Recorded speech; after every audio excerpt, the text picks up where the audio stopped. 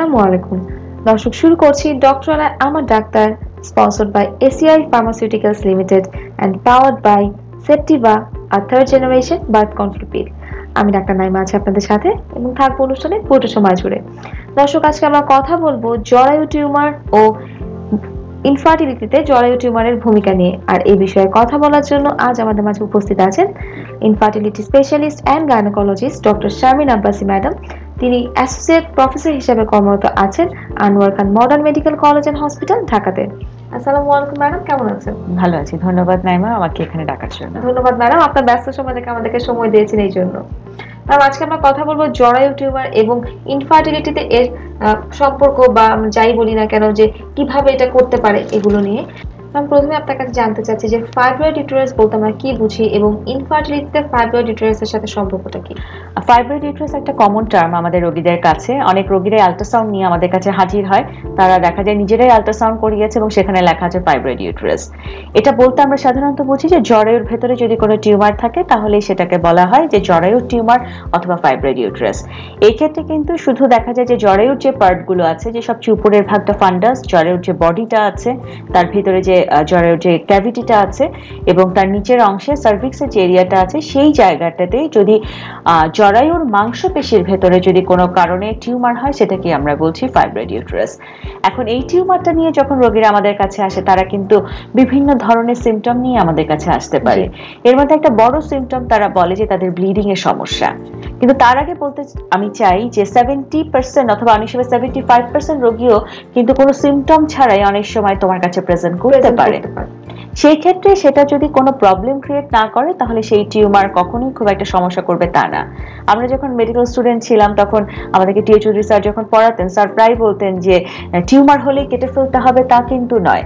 এই টিউমারটা যখন সিমটোমেটিক হবে একটা মানুষের জীবনকে পরিবর্তন করবে ঝুঁকিতে ফেলে দিবে অথবা বন্ধাত্বের কারণ হয়ে দাঁড়াবে তখন সেটা ফেলার প্রশ্নটা আসছে।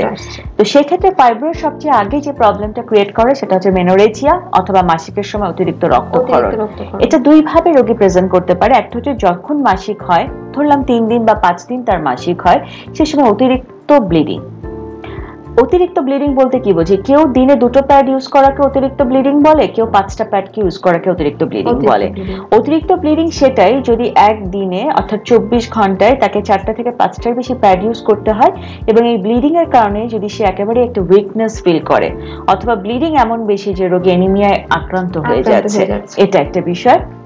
আর এই ব্লিডিংটা যাদের থাকে তারা কিন্তু ক্লট পাসের একটা হিস্ট্রি থাকে। তারা বলে যে বড় বড় চাকা আমার যায় যখন আমার ব্লিডিংটা হয়। অর্থাৎ আমি পেশেন্টদেরকে বলব যে এইখানে একটা কোরিলেশনের ব্যাপার আছে যে ব্লিডিং এর প্যাটার্নটা কীরকম যে অতিরিক্ত ব্লিডিং হচ্ছে তার সাথে চাকা যাচ্ছে। আবার অনেক সময় যেটা দেখা যাচ্ছে যে ব্লিডিং তার কিন্তু নির্দিষ্ট সময় নির্দিষ্ট পরিমাণে হচ্ছে কিন্তু তার ডিউরেশনটা বেড়ে গেল। অর্থাৎ তোমার দশ দিন পর্যন্ত ব্লিডিং থাকে বারো দিন পর্যন্ত ব্লিডিং থাকে। সেটাও কিন্তু তুমি বলবে মেনোরেজিয়া বা অতিরিক্ত রক্তক্ষরণ। অথবা দুটার কম্বিনেশন লম্বা সময় ব্লিডিং এবং তার সাথে অতিরিক্ত রক্তক্ষরণ তার সাথে চাকা যাওয়ার একটা হিস্ট্রি এই সমস্যাগুলো নিয়ে যখন রোগীরা আমাদের কাছে আসে তখন আমরা মোটামুটি ধরে নিই যে জ্বরের ভেতরে কোনো প্রবলেম আছে। এবং অনেক সময় অনেকে দেখা যায় এর সাথে তার পেইন থাকে। পেইনটা দুটো কারণে হয়। একটা হচ্ছে কোয়ার্ডিনেশনটা প্রপার হচ্ছে না ইউট্রাস যেভাবে কাজ করার কথা করতে পারছে না এবং সাথে ক্লট পাস করছে সেই জন্য একটা পেইন হতে পারে। আরেকটা সবচেয়ে বড় ব্যাপার যে এই জরের টিউমারের সাথে অনেক সময় এন্ড্রোমেট্রিওসিস অর্থাৎ ওভারিতে সিস চকলেট সিস অথবা ওভারির কোনো অ্যাবনর্মালিটির কারণে এন্ড্রোমেট্রিওটিক ডিপোজিটগুলো অন্য জায়গায় চলে যেয়ে এন্ড্রোমেট্রিওসিসও যুক্ত হয়, তখনও কিন্তু রোগী এক ধরনের পেইন ফিল করতে পারে মানসিকের সময়। এবং অনেক সময় কিন্তু আমরা এটাও দেখি ম্যাডাম যে পেশেন্টরা এসে বলছে যে তলপেট ভারী ভারী লাগছে বা মনে হচ্ছে যে আগের চেয়ে অনেকটাই কি যেন একটা ওজন ওজন মনে হচ্ছে। এটা হচ্ছে যখন টিউমারটা অনেক বেশি বেড়ে যায়। রোগী কখন তলপেটে ভারী ভারী মনে করতে পারবে যখন এটা বড় হবে? একটা আট সপ্তাহ দশ সপ্তাহ বা বারো সপ্তাহ প্রেগনেন্সি সাইজে যখন চলে আসবে তখন রোগী ফিল করতে পারবে বা তার এই ভারী ভারী যে অনুভবটা সেটা হবে। এবং গ্র্যাজুয়ালি এটা যত বড় হবে এটা কিন্তু অন্য সিমটমও নিয়ে আসবে। যেমন ধরো এটা ঠিক ইউট্রাস তার ঠিক সামনেই আছে ব্লাডার অর্থাৎ এটা যদি ব্লাডারকে চাপ দেয় তার মানে পেশাব করার সময় উনি একটা প্রবলেম ফিল করবে। ঠিক পেছনে তার রয়ে গেছে হচ্ছে পায়ুপথ সেখানে যদি চাপ দেয় তাহলে বাথরুম করার বড় বাথরুম করার সময় সে প্রবলেম ফিল করছে। অতএব এই সমস্যাগুলো তার সাথে থাকতে পারে। কিন্তু তুমি যেটা বলছিলে যে আসলে এটা ইনফার্টিলিটির সাথে কীভাবে যুক্ত হয়? এভাবেই যুক্ত হচ্ছে যে একজন মানুষের যদি অতিরিক্ত রক্তক্ষরণ হয় মাসিক যদি তার যে প্যাটার্নে হওয়া দরকার সেটা না হয় তাহলে কিন্তু নর্মাল লাইফ থেকে সে ডেভিয়েটেড হয়ে হয়ে গেল। এটা একটা বিষয়। অনেক সময় মাসিকটা কেমন হয়? জ্বরের টিউমার হচ্ছে ইরেগুলার মাসিক অর্থাৎ অনিয়মিত হচ্ছে। মানে এক মাসে দুইবার হচ্ছে তিনবার হচ্ছে। তখন হ্যাঁ হয়ে। তখনও কিন্তু সে একটা ঝামেলায় পড়ে যাচ্ছে। আরেকটা বড় প্রবলেম যে ইউটারাস একটা বেড আমরা যদি এটা একটা বেডের সাথে তুলনা করি আপনার প্রেগনেন্সি কিন্তু বসবে এই বেডটার উপরে। তো যদি আপনার টিউমার থাকে টিউমারটা কি করবে? উঁচু নিচু জায়গা তৈরি করবে বেডের উপরে। তাহলে তো এটা প্রপারলি বেডের উপর বসতে পারবে না। তার মানে কি? যে জরায়ুতে যে তোমার যেভাবে বাচ্চাটা বসে যাওয়ার কথা সে কিন্তু বসতে পারছে না। আচ্ছা। যার ফলে প্রেগনেন্সি হতেও সমস্যা আবার হয়ে গেলেও কিন্তু মিসকারেজের চান্স ইজ ভেরি হাই অনেক বেশি।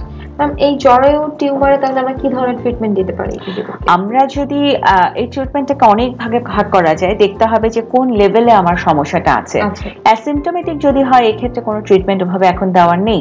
বাট যদি এটা সিমটম প্রডিউসিং হয় যেমন মেনোরেজিয়া অতিরিক্ত রক্তক্ষরণ সেটার জন্য কিন্তু আমরা আপনাদেরকে দিয়ে দিতে পারি বিভিন্ন এমন ওষুধ আছে যেগুলো রক্তক্ষরণটাকে কমিয়ে দেয়। সাথে আয়রনের ঘাটতি আছে হিমোগ্লোবিন কম আছে সাথে আয়রন দিয়ে দিলাম আমরা। অনেক সময় দেখা যায় প্রজেস্ট্রন জাতীয় পিল দিলে এখান থেকে রক্ষা পাওয়া যায়। অনেক সময় ওসিপি অনেক সময় এখানে ভালো কাজ করতে পারে। অনেক সময় এখানে যদিও মতবিরোধ আছে অনেকে বলে যে আবার প্রবলেম করে কিনা। তারপরে দেখা গেছে কিছুগুলো ট্রায়ালে দেখা গেছে ওসিপি দিয়ে অনেকে ট্রিটমেন্ট দিয়েছে এখানে। মেনোরেজিয়ার যখন প্রবলেমটা নিয়ে আসছে।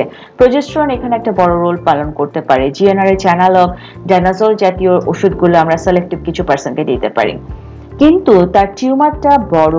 টিউমার তার জন্য বন্ধাত্বের কারণ হয়ে দাঁড়াচ্ছে তাহলে অবশ্যই এখানে অপারেশনের একটা অপশন আছে। আচ্ছা। এবং যাদের জ্বরেও টিউমার আছে টিউমারের সমস্যা নিয়ে যারা আছেন এবং সাথে বন্ধাত্ম এবং টিউমারটা বড় আপনাদের অপারেশন লাগবে তাদের অপারেশন কিন্তু খুব স্পেশাল একটা অপারেশন হবে এটাকে আমরা বলি মায়োমেকটমি। মায়োমেকটমিটা কি? শুধুমাত্র জরায়ু থেকে টিউমারটাকে অপসারণ করা। এখানে কিন্তু আমরা জরায়ুতে কোনো রকম নষ্ট হতে দেওয়া বা কোনো রকম হাত দিতে দেওয়া এই জিনিসগুলো আমরা করি না। কারণ this is a very sophisticated operation এই অপারেশনটা প্রচণ্ড সাবধানতার সাথে করতে হবে এবং এক্সপার্ট হ্যান্ড এই অপারেশনটা করতে হবে। এটা আমি বলব যে সবাই যে খুব এক্সপিরিয়েন্স এই অপারেশনটার ব্যাপারে সেটা নয়। তো সেই জিনিসটা এখানে আমাদেরকে খেয়াল রাখতে হবে যে জরায়ু টিউমারে শুধু জরায়ু থেকে টিউমারটা অপসারণ করা এবং আপনার জরায়ুটাকে একদম ফাংশনিং রেখে আসে এবং সেই সাথে টিউবগুলোকে দেখে নেওয়া যে টিউবগুলো ফাংশনিং আছে কিনা। এই অপারেশনটাকে আমরা বলছি মায়োমেক্টমি অপারেশন এবং এটা একটা সময় ছিল যে খুব রিস্কি অপারেশন কিন্তু গ্র্যাজুয়ালি যত দিনকে দিন যাচ্ছে এই অপারেশনটা অনেক বেশি ইজি হয়ে গেছে এবং অনেক বেশি টেকনিক জানার কারণে অনেক বেশি সাকসেসও বেড়ে গেছে অপারেশনের পরপর প্রেগনেন্সি করার। এবং এটা দুইভাবেই করা যায় এটা ল্যাপারোস্কোপিক্যালিও আমরা করছি এখন এছাড়াও হচ্ছে যে পেট কেটেও এটা করার অপশনটা রয়ে গেছে। তাহলে কেউ যদি পেট কেটে করতে চায় সে করতে পারবে কিন্তু অনেক সময় কিন্তু রোগীরা এটাও জানতে চায় ম্যাডাম যে আমার টিউমারটা তো অনেক বড় তো সেই ক্ষেত্রে কি আমি ল্যাপারোস্কোপি হ্যাঁ ল্যাপারোস্কোপি টেকনিকগুলো তো ওভাবেই করা আছে যে করার পরে মায়োমেক্টমি করার পর সেটাকে বের করে দেওয়া হবে ভেজাইনাল রুট দিয়ে। তো এখানে আসলে রিস্ক নেওয়ার বা খুব বেশি ভয় পাওয়ার কিছু নাই। এবং ডক্টর এবং পেশেন্ট বসেই কিন্তু আসলে সিদ্ধান্ত নেবে যে ওনার মায়ামাটা কোন লেভেলে আছে কতগুলো মায়ামা আছে এটাকে ওপেন করলে ভালো হবে নাকি ল্যাপারোস্কোপিতে গেলে ভালো হবে? একটা কনভারসেশন এবং ডিসকাশন করে নিয়ে তারপর হ্যাঁ। এবং যেহেতু এখন একটা মডার্ন টেকনিক চলে আসে তার সাথে হিস্ট্রোস্কোপি যারা হিস্ট্রোস্কোপি করছেন তারাও কিন্তু দেখা যাচ্ছে যে এটা যখন করছেন তখন ছোট ছোট সাবমিউকাস বায়োমা যদি থাকে ক্যাভিটির মধ্যে তখন কিন্তু হিস্ট্রোস্কোপিক্যালিও সেটা রিমুভ করে নিয়ে আসছে। আচ্ছা। অর্থাৎ একসাথে দুটো কাজ হয়ে যাচ্ছে একদিকে টিউব দেখাও হয়ে যাচ্ছে ক্যাভিটি দেখাও হয়ে যাচ্ছে সেই সাথে মায়োমাটাও রিমুভ হয়ে হয়ে যাচ্ছে। ধন্যবাদ ম্যাডাম। আশা করছি আমাদের দর্শক আপনার কথাগুলো থেকে অনেক উপকৃত হয়েছেন। ধন্যবাদ। দর্শক দেখতে দেখতে আজকে অনুষ্ঠানের শেষ পর্যায়ে চলে এসেছি। সবাই ভালো থাকবেন, সুস্থ থাকবেন এবং নিয়মিত আমাদের ডক্টরের সাথেই থাকবেন। আল্লাহ হাফিজ।